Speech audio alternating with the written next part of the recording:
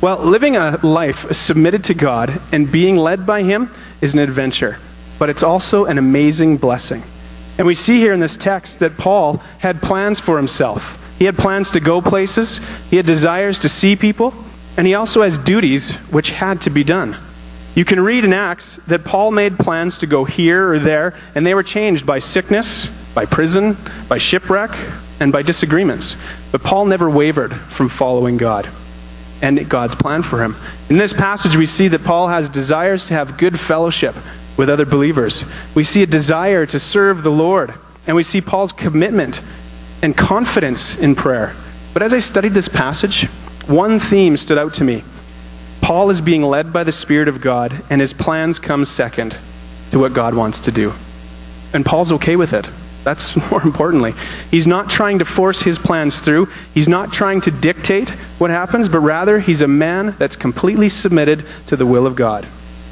Years ago, if you told me that I'd be working full time ministry as a pastor, I would have said you're crazy.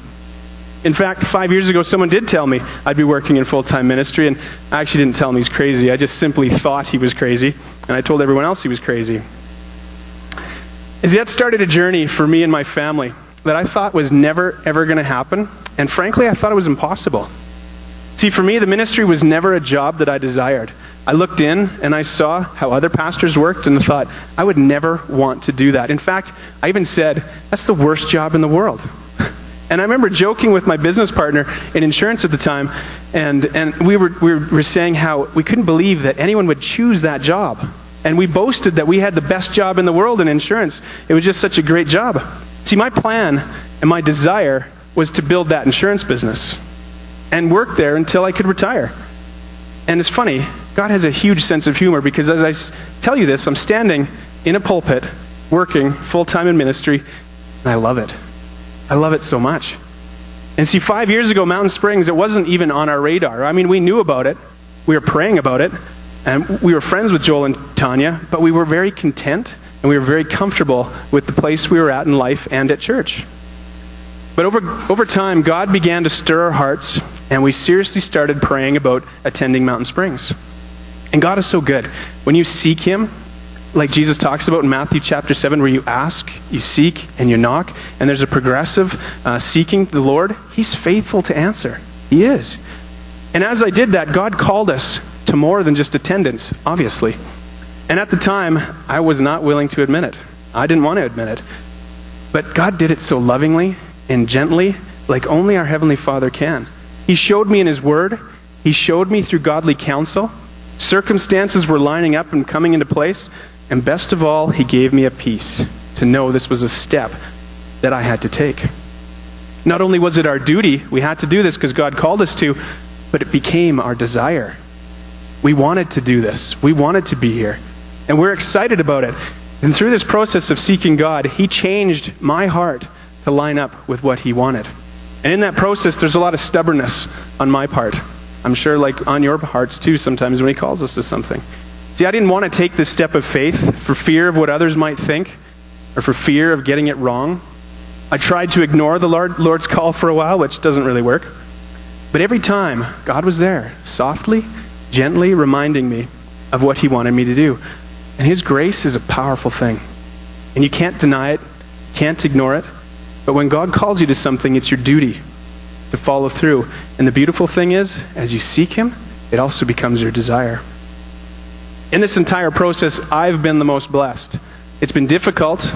There's been a few sleepless nights worrying about things, things that are temporary. But through it all, my relationship with God has become sweeter and stronger.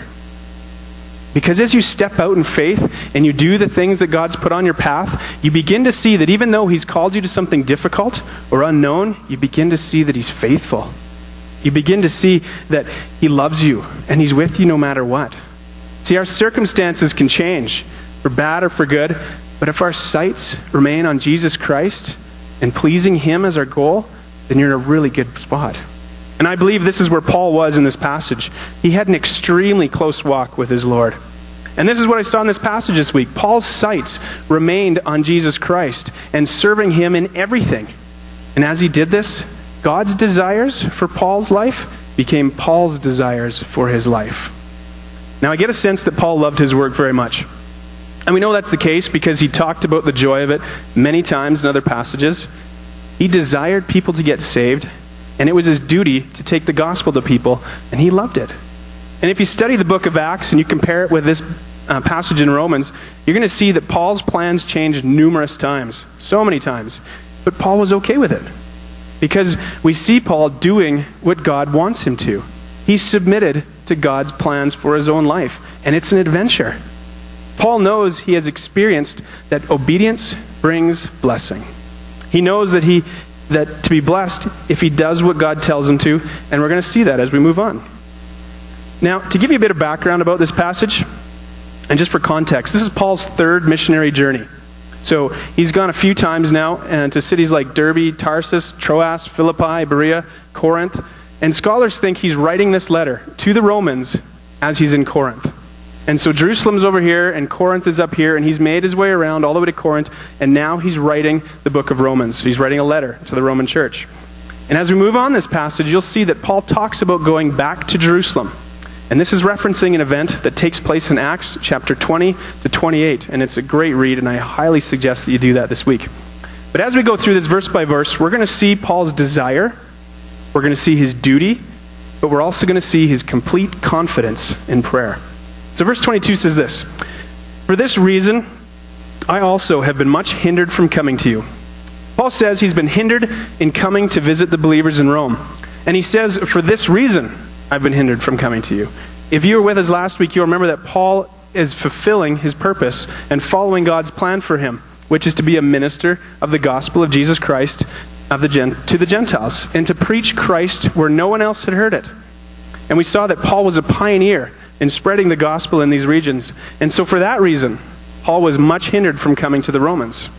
And you know, this is really the only good excuse you have to give when you're late.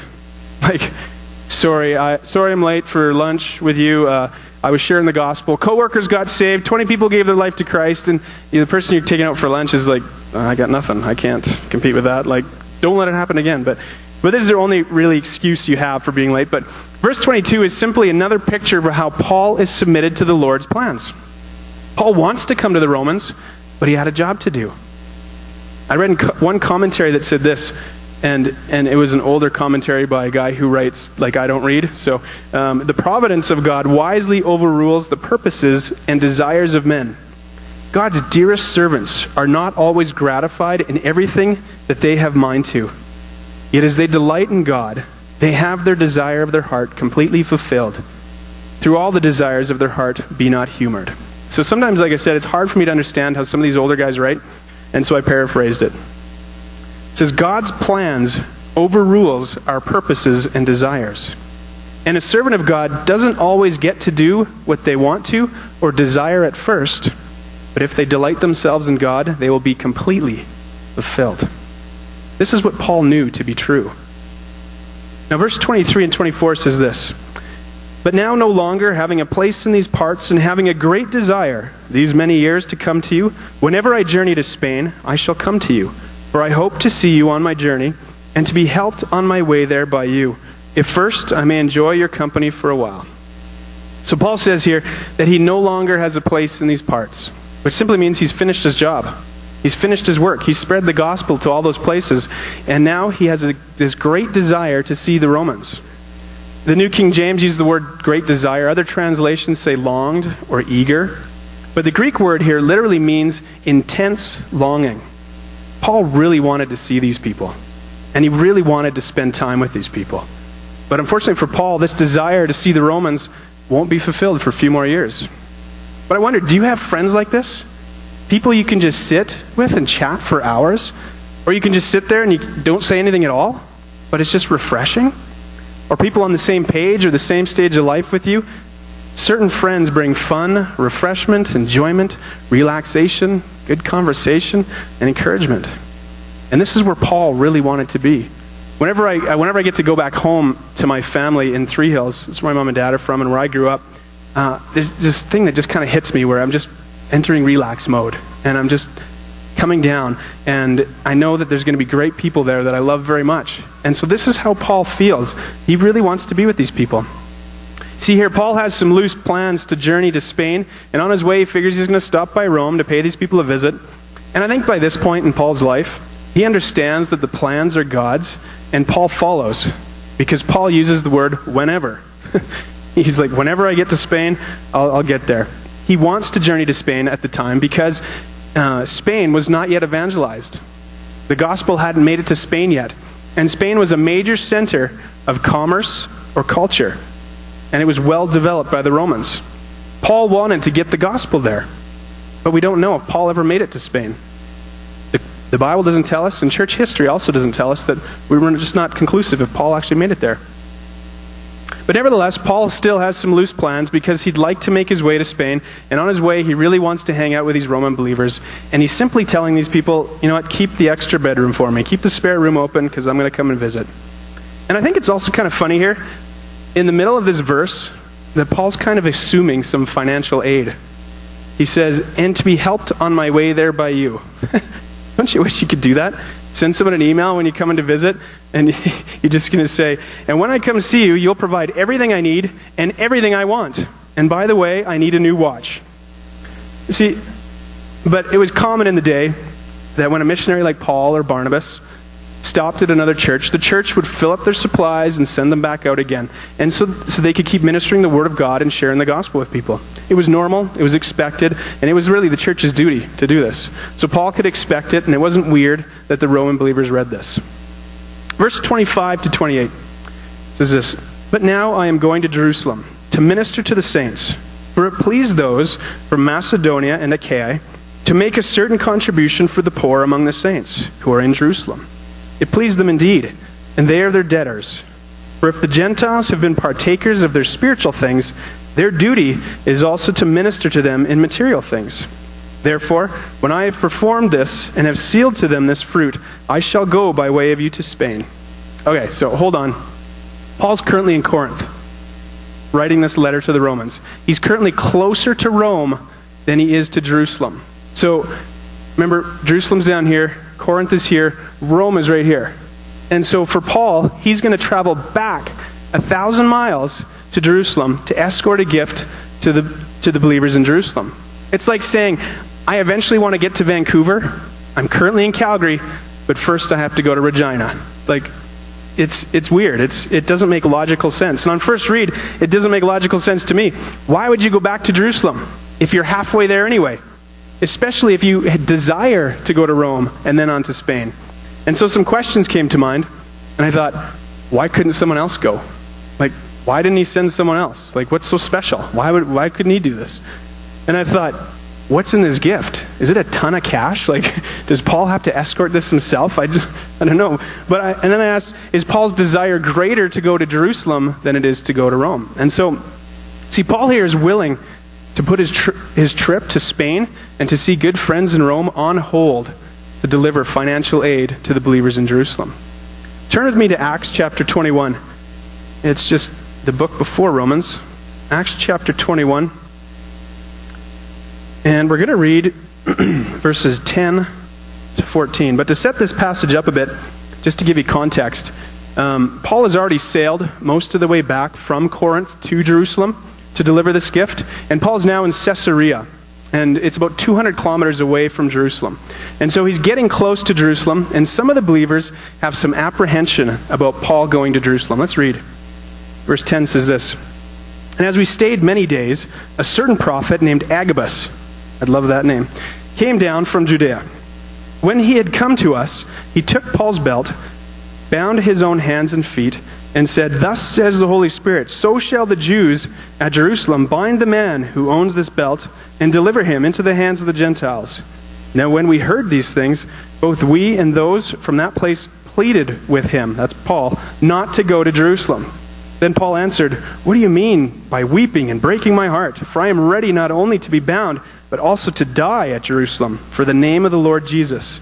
So when he would not be persuaded, we ceased, saying, The will of the Lord be done. See, people are warning Paul not to go to Jerusalem. And if you read the book of Acts, you, you eventually find out that Paul's arrested and he's put on trial in Jerusalem. Now, it's important to note at this time, During the time, the church in Jerusalem was suffering intense persecution and great poverty. See, there was a famine in Palestine, which is the province that Jerusalem was in, and because of the persecution of the Jews, many Christian men lost their jobs, and many were put into prison because they believed in Jesus Christ. You can read all about it in the early chapters of the book of Acts, particularly about Peter and John. See, Paul knew this great need, and he let it be known to all the churches as he traveled from, Jerusalem, or from uh, um, Jerusalem all the way to Corinth. He let all the churches know that there's persecution happening and there's poverty happening in Jerusalem. And so he let all these churches know this. And so the churches in Macedonia and Achaia included places like Philippi, Thessalonica, or Corinth, and these are books that you have in the Bible. And these believers in these places have responded to the teaching of Paul. And they've offered this gift to the believers in Jerusalem. They want to help out, obviously because of the physical reasons, so they could put food on the table, but they wanted to help because of spiritual reasons. And Paul explains in verse 27 that the Gentile believers feel obligated to help the Jerusalem believers because the spiritual blessing from the Jews. What does that mean? Well, Jesus told the woman by the well in John chapter 4 verse 22 that salvation is of the Jews, meaning that it starts with Israel, where it's offered to them first. And these Gentile believers received the gospel from the Jews, and they felt so blessed because the Jews brought them the gospel, the truth, and the only way to eternal life. These Gentile believers greatly appreciated the gift that they've received, and they were overjoyed. They were ecstatic, and they, they, because they had salvation through Jesus Christ. And they knew that if the Jews didn't go to them, they would have never known the truth. I read in a commentary, it said, in the early church, those of a totally different culture were willing to give of their means to help the Jews who were the source that salvation had come from. So, because of this, the Gentile believers wanted to help. And Paul takes this gift very seriously. You can see in verse 28, Paul calls this gift fruit. This is spiritual growth in the life of the Gentile believers. And it's worth something to them, and it's going to bless other believers in Jerusalem. And please know that these believers, they felt an obligation to give, but there was also out of a willingness and a joyful compliance of their faith and love for the church in Jerusalem. That's why Paul calls it fruit. Now in 2 Corinthians uh, chapter 9 verse 7 Paul says, "So let each one of you give as he purposes in his heart, not grudgingly, nor out of necessity. For God loves a cheerful giver." These believers knew this because Paul wrote the letter to the Corinthian church before he wrote the letter to the, the Romans. These believers knew this principle. When we give, it's not grudging, it's not out of necessity. You're not forced to give. You're not forced to give any, to any ministry, but rather to give with a joyful heart, knowing that the gift will be used for the kingdom of God. And verse 27 tells us that these believers were pleased to give this gift. What about you? Are you grudgingly giving? Have you lost the joy of giving? Some churches, I think, have given other churches a bad reputation on how often they ask for money. I meet people all the time that won't come to church because of how they were burned before. And, they, and they'll bring out the thermometer and they'll say, We're this much short in, in the building and we, have to, we can't leave till we get the thermometer up to full. And, or the, they'll pass the offering plate a few times just to fill it up even more. Now, there's nothing wrong with making the needs known. And I think that's what Paul was doing with the Gentile believers when he preached about the Jerusalem believers. He told them what was happening in Jerusalem, and when he did that, it produced a joyful response from the Gentile believers. They wanted to help. But I think some churches get it wrong. Some services can be more focused on the money instead of lifting up the name of Jesus Christ and teaching his word. The focus needs to be on him and not on the cash. This is why we have a box at the back of the church. Many people come up and ask, How do I give? And, well, there's a box. Just go back there. And, but like, we still think giving of your tithe is an act of worship when given to the Lord with a joyful heart. But Mountain Springs exists because of Jesus Christ, not the money. And we don't want our focus to be on the money, and we don't want people to feel obligated. That's why we put a box at the back. And if you have questions about tithing or giving or offerings, Pastor Joel did a complete, a very good teaching in the Why Church series called Stewardship. If you have any questions about it, uh, you want to pick that up. We have CDs at the back, or you can find it online. It's a great sermon. So back to Romans. Another reason why Paul wanted to go back to Jerusalem is because there was some disagreement between the Jewish believers and the Gentile believers. And so there's a bit of quarreling going on between the churches about process and all that kind of stuff. And you can read about it in the book of Acts.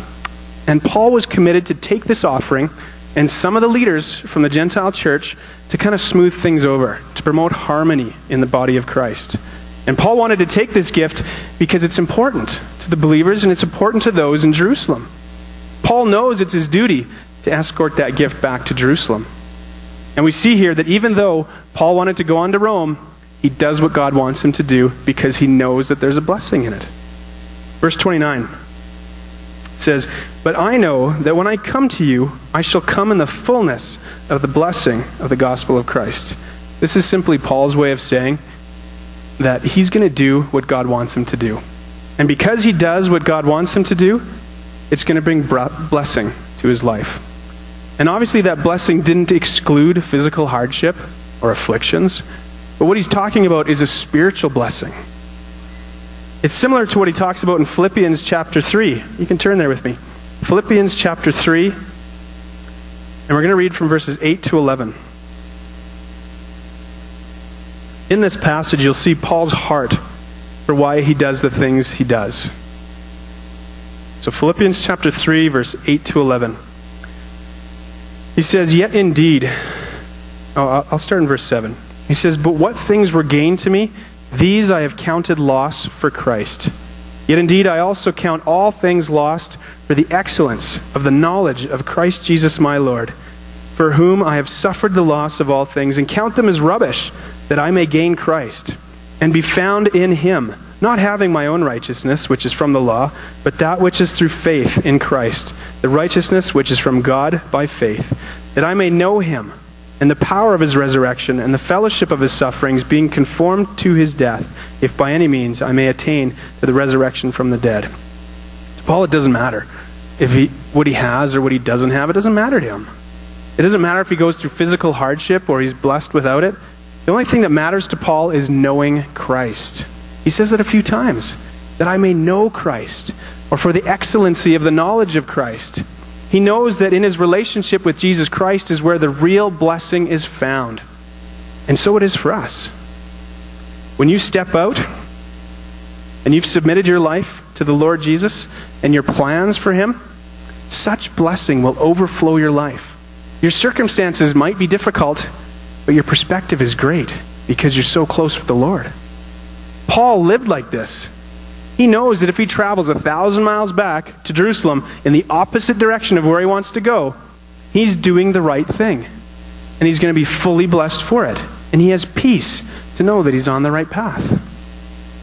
I read this in a commentary by John MacArthur. It says, making sensible plans, and he's talking about making plans compared to with following the Spirit, and it's good. It says, making sensible and careful plans for serving God does not conflict with reliance on the Holy Spirit. Likewise, reliance on the Holy Spirit does not excuse a failure to plan.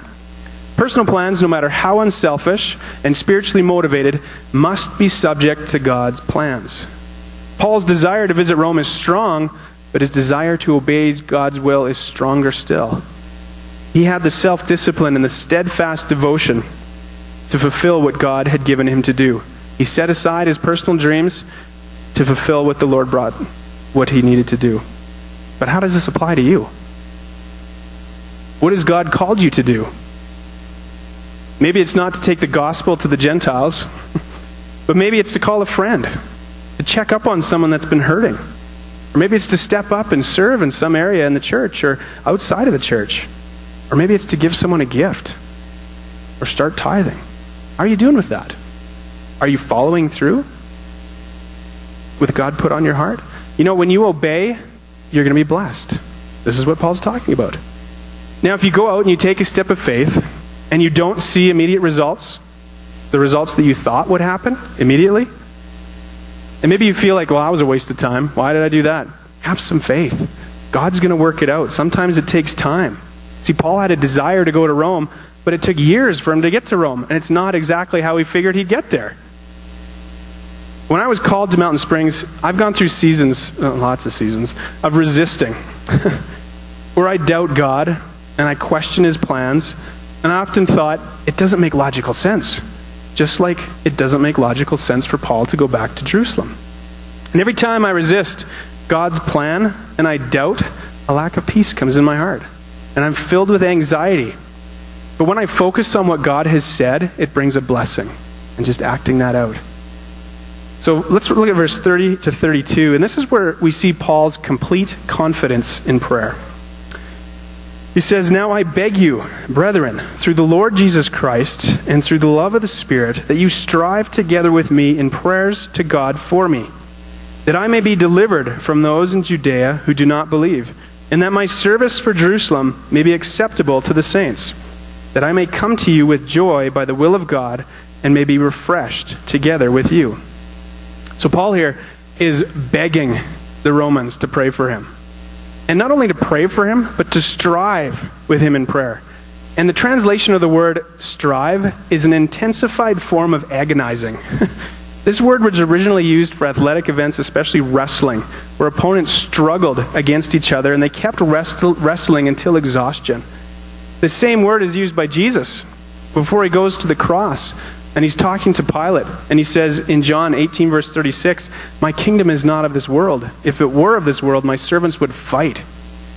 The Greek word for fight is the same one that Paul uses when translated for the word strive. See, Paul's not asking these Roman believers to throw up a quick prayer to the big guy. He's begging these believers to do battle with him because he knows this is the only way. And this is the greatest thing that he can ask for, and the greatest thing that they can do for him is to pray. Now, I find it interesting that Paul doesn't try to manipulate the situation in Jerusalem. He doesn't send people ahead to Jerusalem to try to calm things over. Um, he, he's, he's not swayed by his decision, no matter what people are saying to him. But Paul is committed to go no matter what. Because, firstly and obviously, he's prayed about it. And he's received direction from God. And now he's committed to go, no matter the cost, simply because God told him to. Now, Paul asks these believers in Rome to pray for three specific things. They are to be delivered from those in Judea who do not believe. And so he's asking that he's delivered from the, from the Jewish people, not the believers there. He's asking to be delivered from those. And second is that my service for Jerusalem may be acceptable. He's asking for prayer that these uh, Jewish believers receive his gift that he's bringing with them and that they accept him. And he's also asking for prayer that I may come to you with joy by the will of God and be refreshed. He's saying, I want to get to you guys. I want to go to Rome. Pray for that. Pray that I can go to Rome and see you guys. So the first prayer request, some think wasn't answered because Paul was arrested when he went to Jerusalem by the Jews uh, when he went back. But many scholars, and I also think that it was answered because he wasn't killed in Jerusalem. He was delivered from those in Judea because they eventually decided to send him to Rome. He was arrested and sent to Rome because Paul appealed and said he was a Roman citizen. Therefore, he was delivered from the unbelievers in Judea. First one, checked off. The second prayer request says that my service for Jerusalem may be acceptable to the saints. Paul asked them to pray that the saints, or the believers in Jerusalem, accept this gift from the Gentile believers. This prayer was also answered because Acts 21 tells us that the church in Jerusalem received him gladly and that they had no complaints. The third prayer request that I may come to you with joy by the will of God and may be refreshed together with you. This too came to pass. Just probably not in the time frame or how Paul would have liked it, but it did come to pass. See, Paul lived in Rome. In Acts 28:16 it says, "Now when we came to Rome." That's Paul. He got, he got to Rome. Paul's now in Rome. He's probably not there how he thought or imagined. He came as a prisoner to plead his case before Caesar. But nonetheless, Paul made it to Rome. And what about the end of the prayer request, though? To be with the believers with joy by the will of God. Well, Acts chapter 28 and verse 30 and 31 say this Then Paul dwelt two whole years in his own rented house and received all who came to him, preaching the kingdom of God and teaching the things which concern the Lord Jesus Christ with all confidence, no one forbidding him. You notice that? Paul's not in prison. People are freely coming to him. No one's forbidding him. Paul's doing what he loves to do for two whole years. Now, it sounds like God answered that request as well. You know, prayer does a cool thing it changes your perspective. Even though your circumstances don't change, And you can just see Paul praying about going to Jerusalem, knowing full well what was to come being arrested, possibly being killed. And the Lord confirmed it through Paul's prayers that he was to go. And so Paul was determined to go, knowing that what awaited him was God's plan. See, prayer changes your desire off of yourself and it puts that desire onto what God would have for you. Paul's desire was also his duty.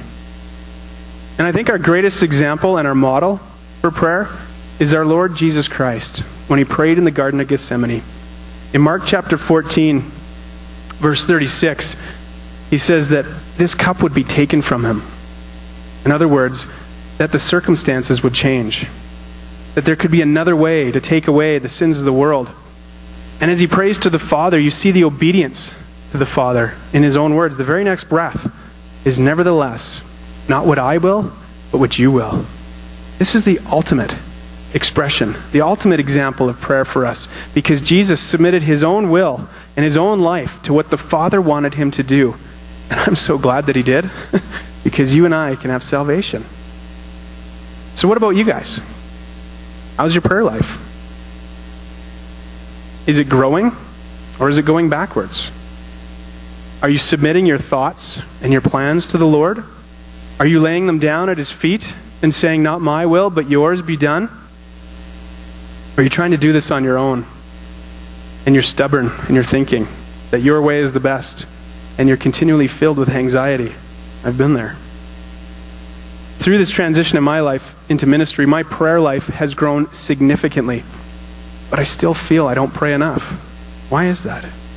Because the closer that you get to God, the closer you want to be. And the more you pray, the closer that you feel to God. I recently read a book by a man named E.M. Bounds called Weapon of Prayer. It's a really good book. Highly recommend it. He says in it, the men and women of spiritual character and strength always value prayer. They take time to be alone with God. Their praying is no hurried performance. They have many serious needs to be relieved and many weighty pleas to offer. They have to secure many great answers to prayer. They have to do much silent waiting before God and much patient asking over and over again. Prayer is the only channel through which the supply of their need comes and the only way for them to utter. The only acceptable waiting before God of which they know anything is prayer. They value praying.